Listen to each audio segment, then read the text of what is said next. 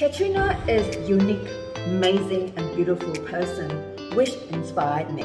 Training Katrina is challenging, but I love it. Because as a trainer, it makes me think you're not only a trainer, you also need to understand what the client is going through in their life, what is their mobility and fitness level. Even with all her challenges, she is managing well in her day to day life.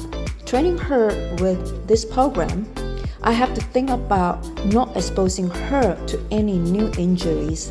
This means I need to get her to gain overall strength and additionally increase her upper body strength. I need to incorporate a lot of stretching to prevent her muscles being worn out. Training Katrina is very inspiring.